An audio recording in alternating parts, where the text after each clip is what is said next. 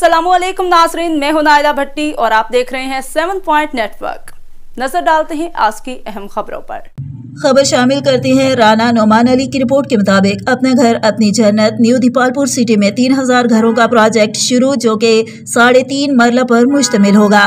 बेघर अफराद को इंस्टॉलमेंट पर घर फ्राहम किए जा रहे हैं। राना हामिद रफी की मीडिया से गुफ्तु तफसलत के मुताबिक हज़रत शाह मुकीम अपना घर अपनी जन्नत न्यू दीपालपुर सिटी में तीन हज़ार घरों का प्रोजेक्ट शुरू, जिसमें बेघर अफराद को इंस्टॉलमेंट पर घर फ्राहम किए जा रहे हैं।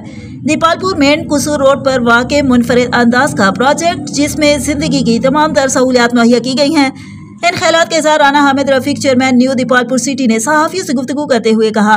उन्होंने कहा कि इन घरों की तकमील का आगाज़ ऐसे अफराद को मद्देनजर रखकर किया गया है, जिनके पास फौरी तौर पर पूरा घर खरीदने की ताकत नहीं होती। ऐसे अफराद इंस्टॉलमेंट पर घर लेकर फौरी अपने घर में शिफ्ट हो सकते हैं। इस मौका पर रब नवाज़ वट्टू एडमिन ऑफिसर ने मीडिया से गुफ्तु करते हुए कहा कि अल्लाह ताला के फजल करम से हज़रत शाह मुकीम, दीपालपुर और ज़िला अकाड़ा भर से सैकड़ों अफराद की जानब से न सिर्फ़ इस प्रोजेक्ट को पसंद किया गया, बल्कि इलाके में बनाई गई बहुत सारी सोसाइटी से अलग करार दिया गया है, जिससे इलाके भर के बेघर अफराद में खुशी की लहर दौड़ गए इस मौका पर उनके हमरा Syed Asif Ali Shah, deputy commissioner Pakpattan, Syed इकरार हुसैन शाह, सबका चेयरमैन यूसी चौधरी ताहिर यूसुफ गिल, मलक ज़ाहिर नवाज़ साहब project manager country head Ahmed Raza साहब और सेठ अब्दुल हमीद भी मौजूद थे।